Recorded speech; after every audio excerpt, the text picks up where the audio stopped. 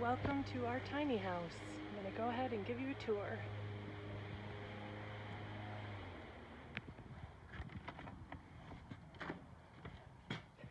When you walk in the entryway, you are in the living room.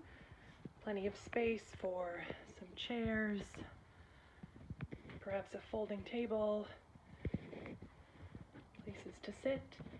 It gets great light with lots of windows. And as you can see, all of the woodworking was done by a master carpenter, so it's beautifully finished.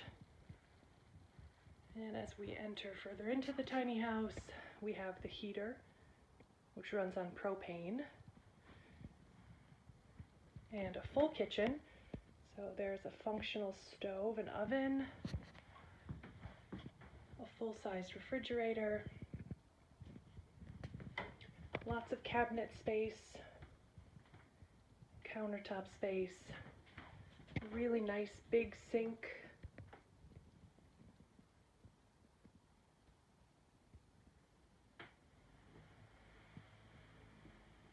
Here's an overview of the house looking out the door.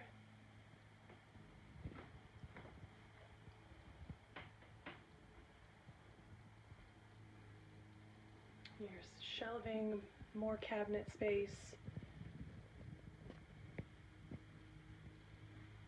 And then we go into the bathroom where we have a sink, cabinets, and a composting toilet, which is actually not as difficult to operate as one might think. I had never used one before moving into this tiny house and quickly adjusted. It's also great for having a little impact on the environment. And here's the shower.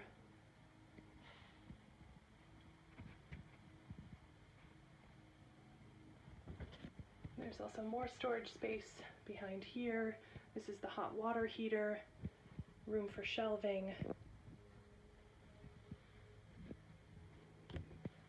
And then we go back out into the main part of the house. Let's check out the lofts. So as you can see, the bathroom, the kitchen, and this is the fixed ladder going up to the loft, so it's fully affixed. And then we come up to the bedroom loft. So this is a queen size bed in here, plenty of room on the sides of the bed.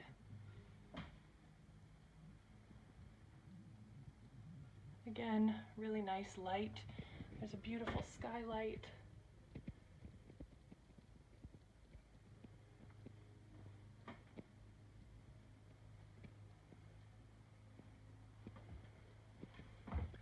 And then as we turn around, this gives you a view of the second loft.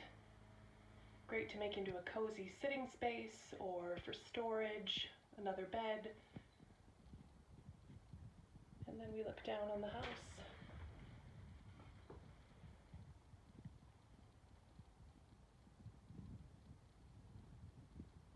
So this is a great space for one or two people. We've lived in here with two people and two dogs at different times, so there's more room than you would think. And then as we go out, there's a great deck that needs sweeping, but a great deck for sitting, hanging out, and the deck is also fully removable, so you can store it in the winter months if you want to, or leave it on.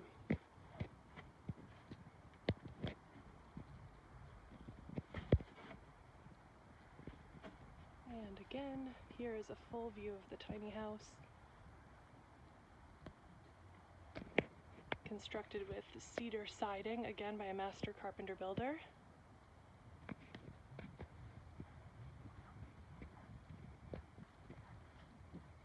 And here's the side view of the house. You'll see that hose there is the water hookup. It's pretty simple to hook up to a water source and then plug right into the house.